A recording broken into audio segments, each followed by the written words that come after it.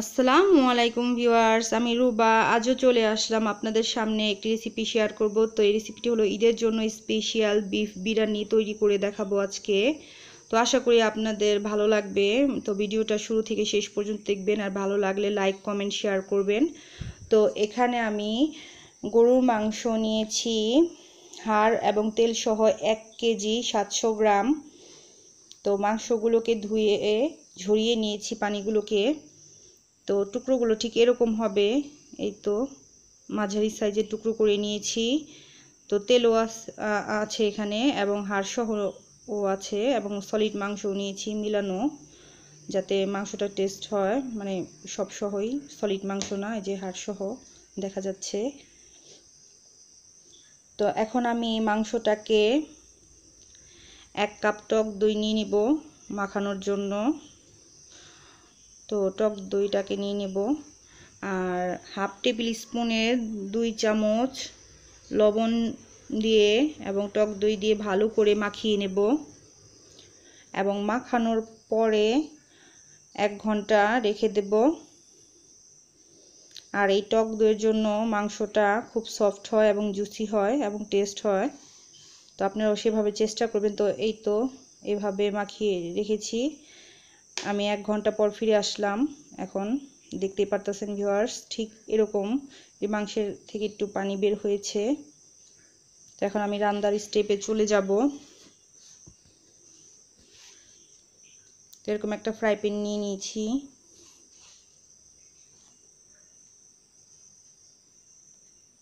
তো এখানে আমি এক কাপেরও বেশি পেঁয়াজ কুচি নিয়েছি। আর নয়টি কাঁচামরিচ পানি দিয়ে ব্লেন্ডার করে নিয়েছি। ওয়ান ফোর্থ কাপ আদা রসুন মেলানো বাটা নিয়েছি। এখান থেকে আমি এক চামচ শুধু রেখে দেব পোলাও রান্না করার জন্য বাদ বাকিগুলো দিয়ে দেব। আর তেজপাতা নেব চারটি, দুটি আমি মাংস ইউজ করব, দুটি পোলার যখন রান্না করব তখন। আর এখানে আমি হাফ কাপ তেল নিয়ে নিয়েছি। আর দুটি তেজপাতাকে আমি ঠিক এভাবে কাট করে কেটে নেব। আর এইভাবে চারটি দারুচিনি এখন আমি তেলের মধ্যে ছেড়ে দেব। একটু ভেজে নিতে হবে আর পাঁচটি এলাচ একটু ফাটিয়ে দিতে হবে ঠিক এভাবে। আর দুটি লং নেব। তো আপনার ইচ্ছে করলে গুঁড়োটাও ইউজ করতে পারেন। তো আমি এখানে আস্ত মানে দারুচিনি, এলাচ এবং লং ইউজ করেছি। একটু নেড়েচে ভেজে নেব। একটু আরোমা বের হয়েছে। এখন আমি পেঁয়াজ কুচিগুলোকে দিয়ে দিব। এখানে এক কাপেরও বেশি পেঁয়াজ কুচি নিয়েছি। তো পেঁয়াজটাকে একটু ভাজা ভাজা করতে হবে। খুব বেশি ভাজার প্রয়োজন নেই। মোটামুটি ভেজে নিলেই হবে। তো এ ঠিক এই স্টেপে এরকমভাবে ভেজে নিলেই হবে। খুব বেশি ভাজার প্রয়োজন নেই। এখন আমি এখানে আদা রসুন দিয়ে দিব। পেঁয়াজটা ভাজা হয়ে গেছে। তো আমি ওয়ান ফোর্থ কাপের বেশিটুকুই আদা রসুন দিয়ে দিব এখানে। আর এক চামচের মতো রেখে দিয়েছি পোলাও রান্নার জন্য।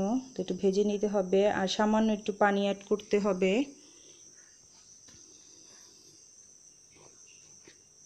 আর এখানে আমি এক চামচ লাল মরিচের গুঁড়োটা দিয়ে দিব যেন বিরিয়ানির কালারটা বা লুকটা দেখতে খুব ভালো হয় এর জন্য।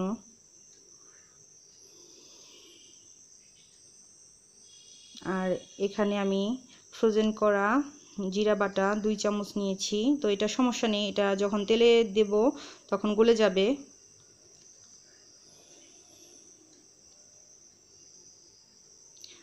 এখানে আমি পুস্ত বাটা এক চামচ নিয়েছি। হাফ চামচ গোলমরিচ বাটা দিয়ে দিচ্ছি ভিউয়ার্স দেখতে পাচ্ছেন। আর মেজারমেন্ট কাপের ছোট মানে মেজারমেন্ট কাপের ছোট চামচেরও হাফ চামচেরও হাফ আমি জায়ফল বাটা এবং সামান্য জত্রি বাটা নেব। হাফ চামচেরও হাফ মেজারমেন্ট কাপের ছোট চামচের। জায়ফল বাটা দিয়ে দিয়েছি, এখন জত্রি বাটা দিয়ে দিচ্ছি সামান্য। খুব বেশি পরিমাণে দেওয়া যাবে না, তাহলে স্ট্রং ফ্লেভারের জন্য বিরিয়ানিটা খেতে অত ভালো হবে না। একটু মানে ফ্লেভারটা জানি মিডিয়াম ভালো আসে সেভাবে ইউজ করতে হবে। যেহেতু এক কেজি পোলার চালের আজকে আমি বিরিয়ানি তৈরি করে দেখাবো। এখন আমি যে মরিচগুলোকে ব্লেন্ডার করে নিয়েছিলাম পানি দিয়ে, সেগুলো দিয়ে দিচ্ছি।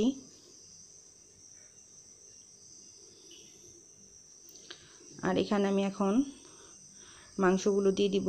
আমার পেঁয়াজগুলো কষানো হয়ে গেছে মশলা সহ তো মাংসটাকে ভালো করে নেড়ে চেড়ে কষিয়ে নিতে হবে।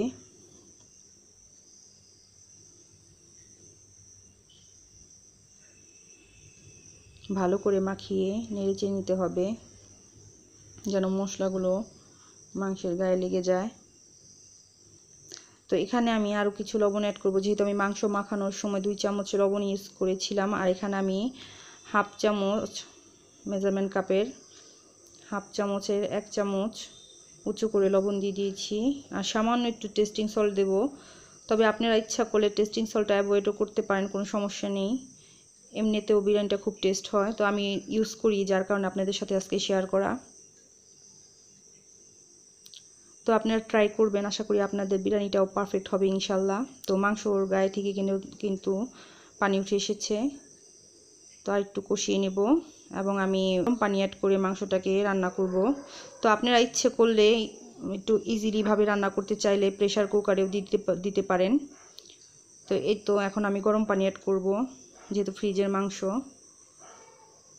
যাতে সেদ্ধ হয়, তো গরম পানি দিয়ে দিচ্ছি এখানে হাফ লিটারের মতো, বাধা কেজির মতো। আর এই স্টেপ আপনার ইচ্ছে করলে প্রেশার কুকারে দিয়ে ছয়টি সিটি দিয়ে নিলেই আপনাদের গরু মাংসটা সিদ্ধ হয়ে যাবে। তো আমি ওইভাবে করব না। আমি দুমে দিয়ে রান্না করব লো হিটে মিডিয়াম আছে তো পনেরো মিনিট পরে ফিরে আসলাম। তো এরকম হবে। একটু নেড়ে চেড়ে আবারও ঢেকে দেব। আরও পনেরো মিনিটের জন্য।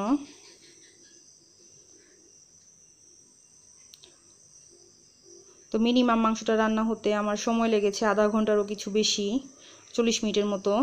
তো এই স্টেপে মাংসটা রান্না হয়ে গেছে। এখন আমি পাঁচটি কাঁচামরিচ আস্ত দিয়ে দিব, তাতে ফ্লেভারটা ভালো আসে এবং কালারটাও দেখতে ভালো লাগে। আর মাংসে কিন্তু পানির পরিমাণ খুবই কম আছে মানে রয়েছে। তেল, তেলটা উঠে এসেছে, দেখতেই পারতেছেন ভিউয়ার্স আর মাংসটা পারফেক্টলি সিদ্ধ হয়েছে। দারুণ সুন্দর একটা অ্যারোমা বের হয়েছে, যেটা আমি পাচ্ছি, আপনারা পাচ্ছেন না। তো আপনারা যখন রান্না করবেন, আশা করি আপনারাও অ্যারোমাটা পাবেন। তো এই স্টেপে এখন আমি মাংসটাকে নামিয়ে নেব। আর এক কেজি পোলার চালের জন্য আপনারা সবসময় চেষ্টা করবেন দুই কেজি পানি ইউজ করার জন্য। যেহেতু আমি এখানে কালিজিরা পোলার চালটা পুরন পুরনো পোলার চালটা ইউজ করব। নতুন না, নতুন হলে পানির পরিমাণটা আর একটু বুঝে শুনে কম দিতে হবে। অ্যাকুরেট মাপ দেওয়া যাবে না। আর এখানে আমি একটা গহীন সিস্টেমের হাঁড়ি নিয়ে নিয়েছি। এখন আমি এখানে তেল দিয়ে দিব। তো এখানে আমি ওয়ান ফোর্থ কাপ তেল নিয়ে নিয়েছি। এখানে আমি ঘি ইউজ করব না, এবং পেঁয়াজ কুচিও ইউজ করব না। মানে আমি যেভাবে রান্না করি, ঠিক সেভাবে আপনাদের সাথে শেয়ার করা আজকে ইজিভাবে one third cup one fourth cup আমি এখানে মটরশুঁটি নিয়েছি ফ্রোজেন করা, স্বাদ মতো লবণ লাগবে, এবং দুইশো পঞ্চাশ এমএল আমি গরুর দুধ ইউজ করব।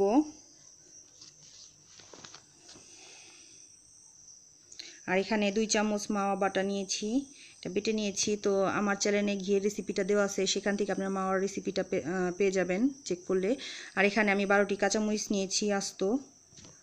কিছু কিশমিশ নেব, ঠিক এতটুকু। আর এখানে দুটি তেজপাতা লাগবে, আর তিনটা দারচিনি, একটা লং এবং পাঁচটি এলাচ লাগবে। তো ওয়ান থার্ড কাপ যে মটরশুঁটিগুলো, ওগুলো আমি ফ্রোজেন করে রেখেছিলাম। সরাসরি ওইভাবেই দিতে হবে। তো তেলের মধ্যে আমি তেজপাতাগুলো চিড়ে দিচ্ছি। দারচিনিগুলো দিয়ে দিলাম। দেখতেই পারতেছেন ভিউয়ার্স এখন এলাচিগুলো দিয়ে দিব এবং লংটাও দিয়ে দিয়েছি। একটু ভেজে নেব। ভাজার পর একটু অ্যারোমা বের হবে। এবং পরে আমি আদা রসুনটা দেব। তো এক চামচ আদা আর এক চামচ রসুন অ্যাড করব। খুব বেশি পরিমাণে প্রয়োজন নেই। আর এখানে আমি কোনো পেঁয়াজ কুচি ইউজ করব না, এটা তো বলেছি। আর কোনো ঘিও ইউজ করব না, যেহেতু আমি লাস্ট স্টেপে মাওয়াটা ইউজ করব।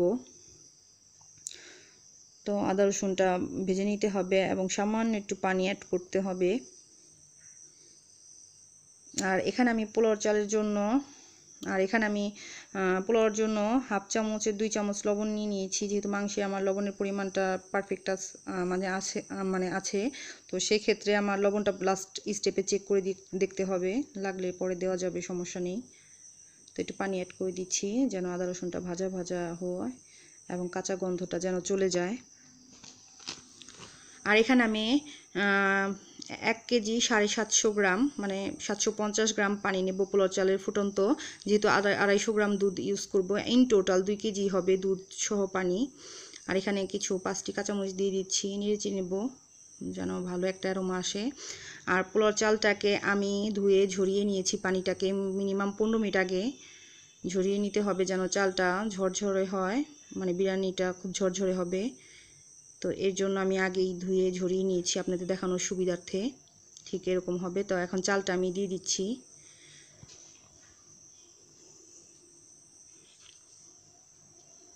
চালটা ভালো করে কষিয়ে নিতে হবে। নেড়ে চেড়ে। তো একটু ভালো করে নেড়ে চেড়ে নিতে হবে। এবং যখন দেখবেন যে ইয়ের মধ্যে, হাঁড়িটার মধ্যে শন শন এক ধরনের আওয়াজ শব্দ হচ্ছে, তখন বুঝতে হবে যে চালটা আপনার কষানো হয়ে গেছে। এই চালটা যত কষানো হবে, ততই আপনার বিরিয়ানিটা পারফেক্ট ঝরঝরে হবে। আর চালটা আমি যার কারণে আগে একটু ধুয়ে রেখেছিলাম, ঝরিয়ে। আর যে পানিটা বললাম, এক কেজি সাড়ে সাতশো গ্রাম আমি গরম পানি নেব এবং আড়াইশো গ্রাম গরুর দুধ নিয়েছি। ইন টোটাল দুই কেজি পানি সহ গরুর দুধ। আর নতুন চাল হলে আপনারা মিনিমাম দুইশো এম পানি কম ইউজ করার চেষ্টা করবেন। যেহেতু আমি এখানে পুরন চাল ইউজ করতেছি। আর এটা আমি পোলার চাল দিয়ে করা, করতেছি, বাসমতি চাল না। তো এটা কিন্তু মানে হাফ লিটারের জগ বা আধাশের জগ যাই বলেন, তো এইভাবে আমি পানি দিয়ে দিব এখন।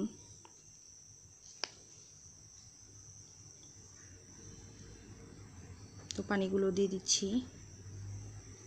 তো আপনারাও ট্রাই করবেন, আশা করি আপনাদের বিরিয়ানিটাও পারফেক্ট হবে। তো পোলাওর একটা দারুণ স্মেল বের হচ্ছে, যেটা আমি পাইতেছি, আপনারা পাচ্ছেন না।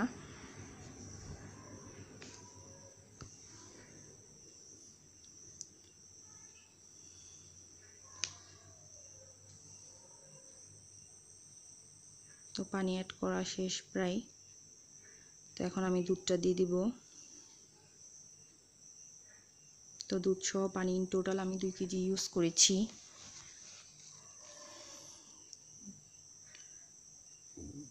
তো এই স্টেপে আমি চেক করে দেখেছি, লবণ আর একটু সামান্য পরিমাণ লেগেছে হাফ চামচেরও হাফ অ্যাট ফার্স্ট আমি দুই চামচ দিয়েছিলাম হাফ চামচের, আর এখন আমি হাফ চামচ হাফ দিয়েছি, এখন ঢেকে দেব। তো মিনিমাম দশ মিনিট পর ব্যাক করব। একটু মিডিয়াম আঁচে দিয়ে দিয়েছি। তো দশ মিনিট পর পানিটা প্রায় টেনে এসেছে। উপর দিকের পানিগুলো শুকিয়ে গেছে। এখন ফ্রোজেন করা ওয়ান থার্ড কাপের মটরশুঁটিগুলো দিয়ে দিচ্ছি। এগুলো কিন্তু আমি গরম পানি দিয়ে সেদ্ধ করিনি, এমনি ফ্রোজেন করা ছিল ফ্রিজে ডাইরেক্ট ফ্রিজ থেকে আমি পোলাওতে দিয়ে দিচ্ছি, যার কারণে কালারটা যেন ভালো আসে এবং মটরশুঁটির কালারগুলো যেন অরিজিনালি সবুজ থাকে সেভাবে। এই কারণে আমি সরাসরি পোলোতে দিয়ে দিয়েছি এখন আমি আবারও নেড়ে দেবো। তো এভাবে দশ মিনিট পর আবারও ঢেকে ওয়েট করতে হবে। তো এখন আমি দশ মিনিট পর দমে দেওয়ার পর এখন মাংসটাকে দিয়ে দিয়েছি। আমার চালগুলো মনে পুরো চালগুলো কিন্তু মিনিমাম সিক্সটি পারসেন্ট মানে পার্সেন্ট হয়ে গেছে আর এইট্টি পারসেন্ট বাকি আছে ফর্টি পারসেন্ট তো ঝরঝরা হওয়ার জন্য। তো মাংসের গায়ে কিছুটা ঝোল ছিল সামান্য পরিমাণে। তো দমে দমে হয়ে যাবে ঝরঝরে। তো এখন কিছু আরও কিছু কাঁচামরিচ অ্যাড করে দিচ্ছি। কিশমিশগুলো দিয়ে দেব।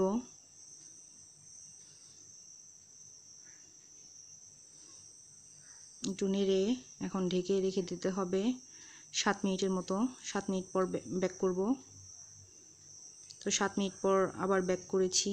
এখন আর একটু হালকা করে নিচের চাল উপরে এবং উপরের চাল নিচে এভাবে আলতোভাবে নেড়ে দিতে হবে সাবধানের সাথে।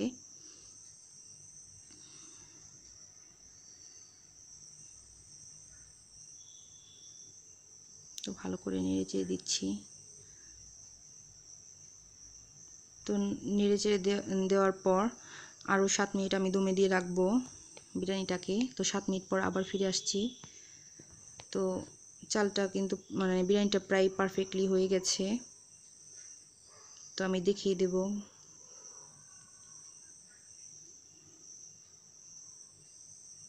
আর আপনারা যদি গ্যাসের চুলায় রান্না করেন বিরিয়ানিটা, তাহলে আপনারা নিচে একটা তাওয়া দিয়ে নিতে পারেন হাঁড়ির নিচে। যেহেতু আমি এখানে ফ্রাই প্যান ইউজ করেছি ইন্ডাকশানে রান্না করছি, এখানে আমার তাওয়া ইউজ করার কোনো প্রয়োজন নেই। লো হিটে রান মানে দুমে রেখেছি। দেখতে পারতেছেন ভিউয়ার্স আর এভাবে একটু নেড়ে চেয়ে দিচ্ছি।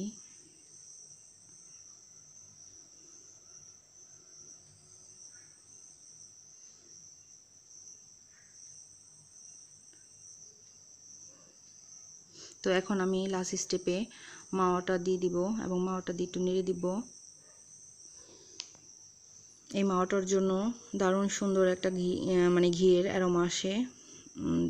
যে কি বলব? আপনারা এভাবে স্টেপ বাই স্টেপ ফলো করবেন। দেখবেন আপনাদের বিরিয়ানিটাও খুবই টেস্টি হবে। যেহেতু ঈদের জন্য শেয়ার করা আজকের এই রেসিপিটা আশা করি আপনাদের ঈদেও বিরিয়ানিটা খুবই টেস্টি হবে এভাবে তৈরি করলে। তো এখন ঢেকে আরও পাঁচ মিনিট আমি ওয়েট করব দমে। তো পাঁচ মিনিট পর ব্যাক করেছি। বিরিয়ানিটা সম্পূর্ণ রেডি হয়ে গিয়েছে। আমি দেখিয়ে দেব কেমন হয়েছে। একটু জুম করে দেখাবো। এই তো।